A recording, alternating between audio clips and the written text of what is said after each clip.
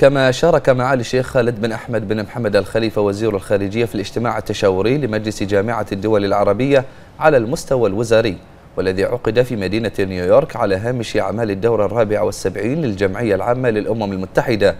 وخلال الاجتماع تم التباحث في مختلف المستجدات المتعلقة بتطورات الأوضاع في المنطقة العربية وما يجري بشأنها من اجتماعات ومشاورات خلال أعمال الدورة الرابعة والسبعين للجمعية العامة للأمم المتحدة.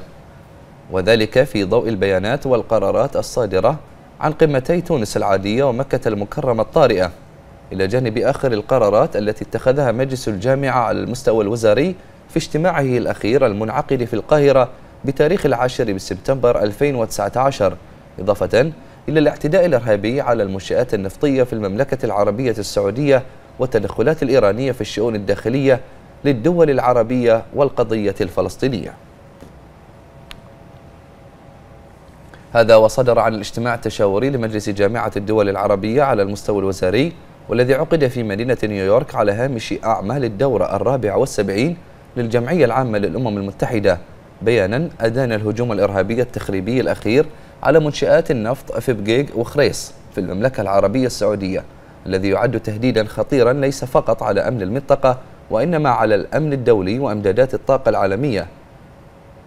كما أعرب المجلس عن تضامنه مع المملكة العربية السعودية ضد كل ما يمس أمنها واستقرارها وتأييده جميع التدابير التي تتخذها المملكة من أجل تعزيز الأمن والاستقرار والتصدي لأي عدوان.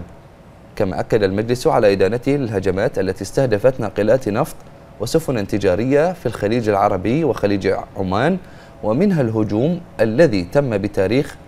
12 من مايو 2019 على ناقلتي نفط سعوديتين وناقلة نفط نرويجية وسفينة شحن إماراتية داخل المياه الإقليمية لدولة الإمارات العربية المتحدة. والاعتداء على ناقلتي نفط في خليج عمان بتاريخ الثالث عشر من يونيو 2019 بوصفها أعمالا إجرامية تهدد أمن وسلامة حركة الملاحة البحرية الدولية في دول الخليج العربي. وفي ذات الإطار جدد المجلس دعوته الواردة في القرار رقم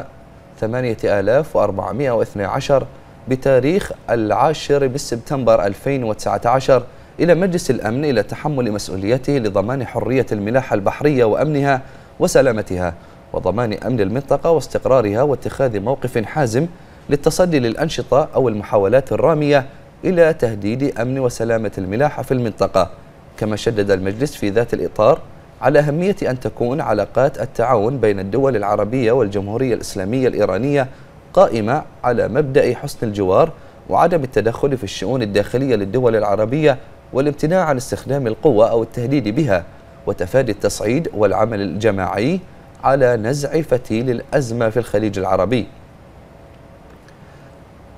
وجدد المجلس إدانته كذلك للتدخلات الإيرانية في الشؤون الداخلية للدول العربية على النحو الوارد في قرار مجلس الجامعة على المستوى الوزاري رقم 8418 الصادر في العاشر من سبتمبر عام 2019 وفيما يخص القضية الفلسطينية أكد المجلس على أهمية تنفيذ قرارات مجلس الجامعة الأخيرة والبيان الوزاري الصادر عن الدورة غير العادية الطارئة لمجلس الجامعة والمتضمنة التصدي في المحافل الدولية للتصريحات غير القانونية لرئيس الوزراء الإسرائيلي بنيامين نتنياهو بشأن ضم أجزاء من الضفة الغربية وشواطئ البحر الميت في حال فوزه في الانتخابات. كما أكد المجلس على ضرورة تكثيف الجهود من أجل تجديد ولاية وكالة غوث وتشغيل اللاجئين في الشرق الأدنى الأونروا وبأغلبية لثلاث سنوات قادمة مشددا على ضرورة العمل لسد العجز المالي المقدر ب 120 مليون دولار. ودعا أيضا إلى التصدي للمخططات الاستيطانية الإسرائيلية في مدينة القدس خاصة في أعقاب القرار الأمريكي بالاعتراف بالقدس عاصمة لإسرائيل. داعيا في ذات الإطار إلى تنفيذ قرارات الأمم المتحدة ذات الصلة بما في ذلك القرار رقم 2334 كما شدد المجلس في نفس الإطار على أهمية إنهاء الاحتلال الإسرائيلي للأراضي الفلسطينية بما فيها القدس الشرقية وفق حل الدولتين وعلى قاعدة المرجعيات الدولية الثابتة بما في ذلك القانون الدولي ومبادرة السلام العربية بالإضافة إلى حشد الدعم والتأييد الدوليين للقرارات المتعلقة بالقضية الفلسطينية في الجمعية العامة وصولا إلى إقامة الدولة الفلسطينية المستقلة ذات السيادة على حدود الرابع من يونيو عام 1967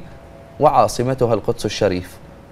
وفي إطار الاستعدادات الجارية لانعقاد المؤتمر الأول لإنشاء المنطقة الخالية من الأسلحة النووية وأسلحة الدمار الشامل الأخرى المقرر عقده في نوفمبر المقبل.